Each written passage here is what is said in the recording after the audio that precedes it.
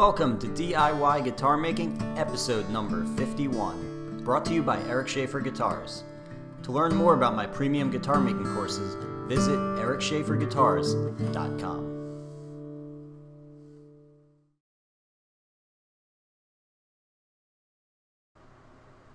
I make a shallow cut with a razor saw, just deep enough to hold the string in position.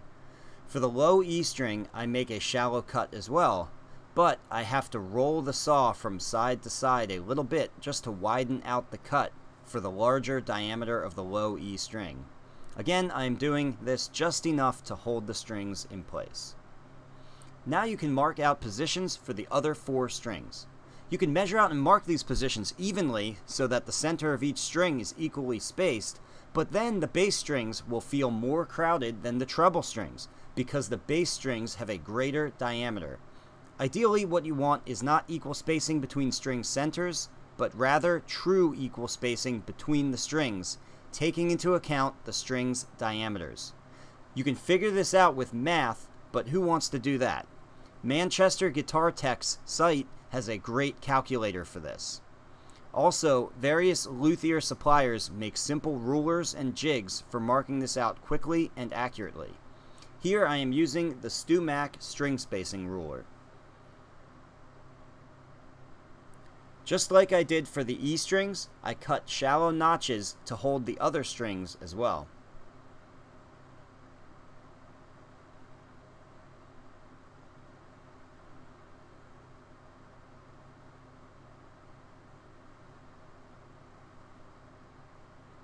Now I install the other strings and wind them until they are taut enough to hold the nut in place.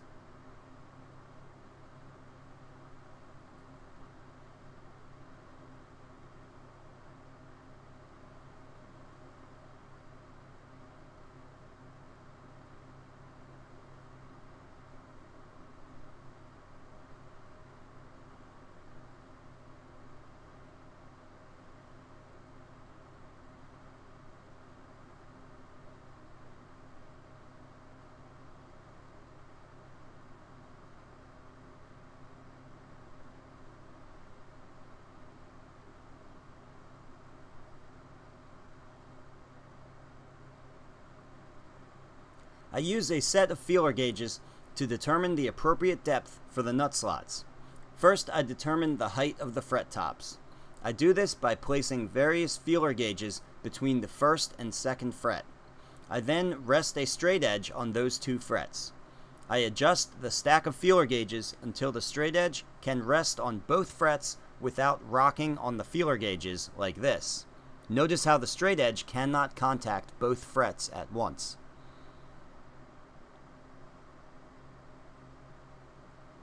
So I swap out thick feeler gauges for thinner ones until I find a perfect fit beneath the straight edge.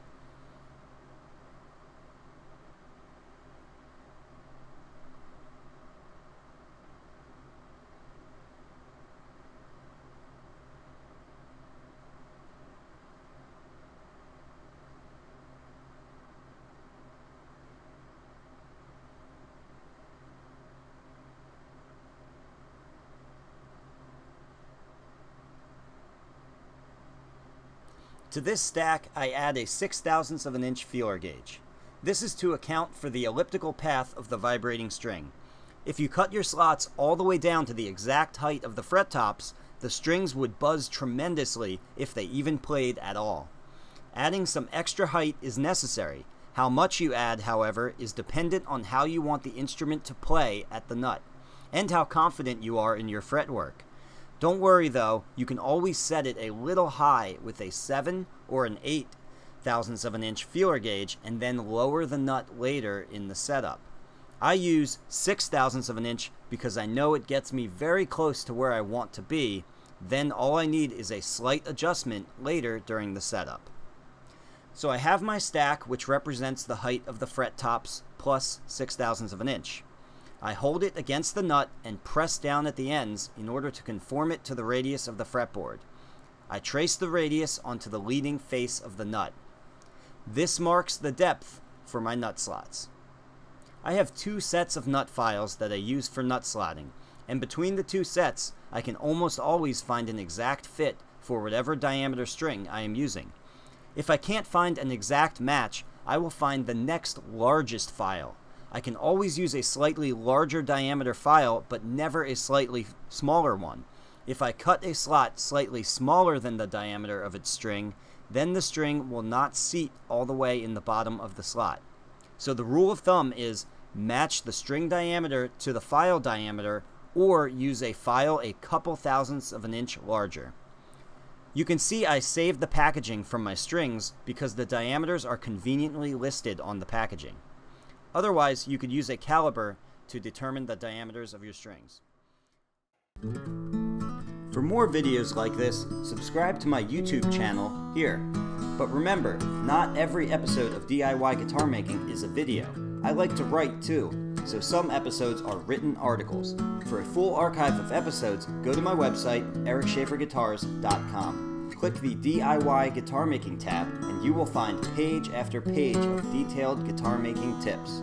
You can also subscribe to the email list to receive episodes in your inbox as they come out.